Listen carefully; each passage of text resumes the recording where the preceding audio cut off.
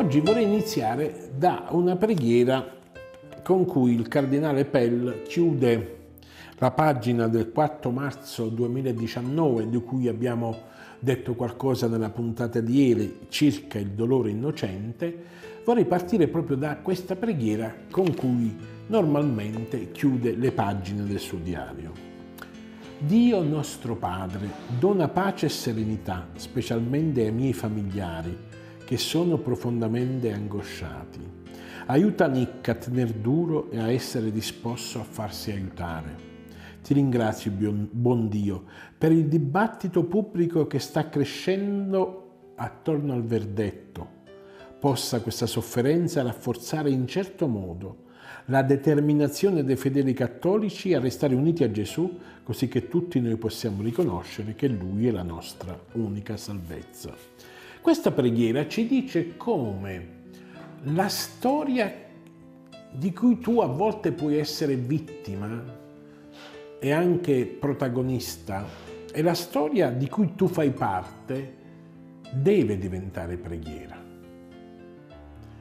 sta scrivendo un detenuto, un detenuto tra virgolette speciale come un cardinale. Guardate, eh, se domani eh, arrestano me, sì, farà notizia, ma per quel poco che può fare notizia, anche se io posso commettere cose peggiori, ma purtroppo nella logica fuorviante, fuorviata della comunicazione, arrestare un vescovo, un cardinale, è, accusato di pedofilia è un pasto ottimo per fare notizia e io dico notizia scandalistica. Ma cosa succede al nostro Cardinal Pell? Che egli trasforma tutto in preghiera. Anche quando si tratta di sé, pensa ai suoi familiari ed è normale. Pensa a Nick, questa persona che evidentemente lui conosce. Pensa alle persone che lui ama e che lo amano.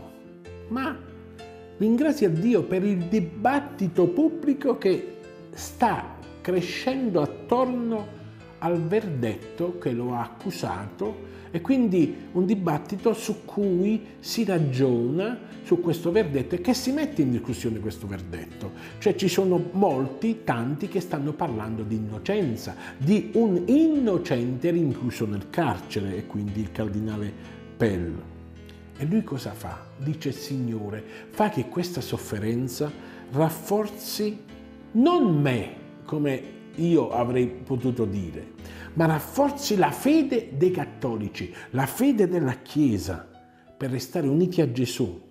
Perché molte volte queste cose dividono, ci allontanano. Posso capire dalla Chiesa, dagli uomini di Chiesa, ma addirittura qualcuno si è allontanato da Gesù. E lui dice, possa questa sofferenza determinare, rafforzare l'unità dei fedeli cattolici, dei fedeli cristiani con Gesù così che tutti noi possiamo riconoscere che Gesù, che Lui è la nostra unica salvezza. Lasciatemelo dire, altro che prigionia. Questa è libertà dello spirito all'ennesima potenza. Noi ci vediamo domani, sempre Padre Pio TV, detto al cuore. Ciao!